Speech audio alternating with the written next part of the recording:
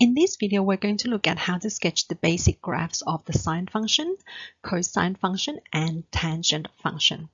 When you first learned about the trigonometric function, you would have learned that by using a circle to define sine, cos, and tan, sine theta is defined as y on r, cos theta is x on r, and tan theta is y on x.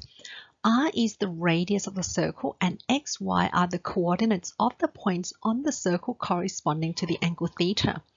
In the case where we have a unit circle where the radius r is equal to 1, these identities simplify to sine theta is equal to y, the y coordinate of the point, cos theta is x, the x coordinate of the point, and tan theta is y on x.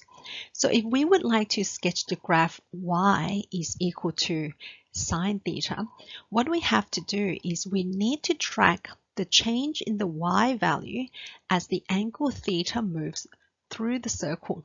For example, at this point, theta is equal to 0 degree. Our y coordinate is 0, and this is going to correspond to this point on the graph. As we move in the positive direction, which is anti-clockwise for theta, going from 0 degree to 90 degree, the y coordinate changes from 0 to 1. So the graph is going to move all the way to 1.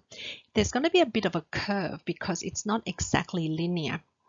Then as we continue to go from 90 degree to theta is equal to 180 degree, the y coordinate goes from 1 back down to 0. And then as we continue going from 180 degrees to 270 degree, the y coordinate goes from 0 to negative 1. And as we continue going back up to 360 degree, which is the same point as 0 degree, the y coordinate goes from minus 1 to 0. And we can keep on continuing, and that's why we get a cyclical pattern for the sine graph. The next one is a graph of y is equal to cos theta. This time we're going to track the x coordinate as the angle theta rotates through the circle. Starting off with this point, which is theta is equal to 0 degree, the x coordinate is 1. As theta moves from 0 degree to 90 degree, the x coordinate goes from 1 to 0. As we continue going from 90 degrees to 180 degrees, the x-coordinate now changes from 0 to negative 1. Going from 180 degrees to 270 degree, the x-coordinate now goes from negative 1 back to 0. And as we continue to complete the cycle from 270 to 360 degree, the x-coordinate goes from 0 back to 1. And again, we can keep on repeating this pattern, and this is the graph of y is equal to cos theta. For y is equal to tan theta, we're going to need to look at the ratio of the y coordinate divided by the x coordinate. At this point, when theta is equal to 0 degree, y divided by x is 0 divided by 1, which is equal to 0, and that's going to be this point on the graph. When theta is equal to 90 degree, y divided by x is 1 divided by 0.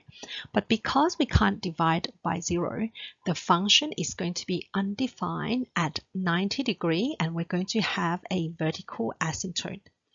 If theta is slightly less than 90 degree, we're going to be in Q1. And so X and Y will be both positive, but 1 divided by a very, very small number, it's going to be approaching infinity. However, from the positive side. If we are close to 90 degree, but a little bit more than 90, so we're going to be in Q2. Here, x will be negative, y will be positive, so the function will be approaching negative infinity. When we get to theta is equal to 180 degree, y divided by x is equal to 0 divided by negative 1, which is 0. So the function goes back to 0.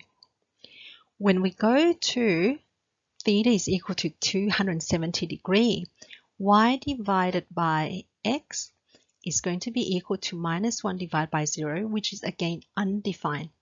So we're going to get another asymptote at 270 degree. So let's consider if we're a little bit less than 270 degree, our x is negative, our y is negative, so the ratio will be positive. So we're going to be approaching positive infinity. If we are a little bit more than 270 degree, our point will be in Q4, quadrant 4. Here, our x is positive, but y is negative, so the ratio will be negative. So the function will be approaching negative infinity. And as we get back up to theta is equal to 360 degree, everything will repeat itself again. And this is a graph of y is equal to tan theta. Thanks everyone for watching the video. In our next video, we're going to look at how to transform these basic trigonometric graphs. We'll see you all in the next one. Bye for now.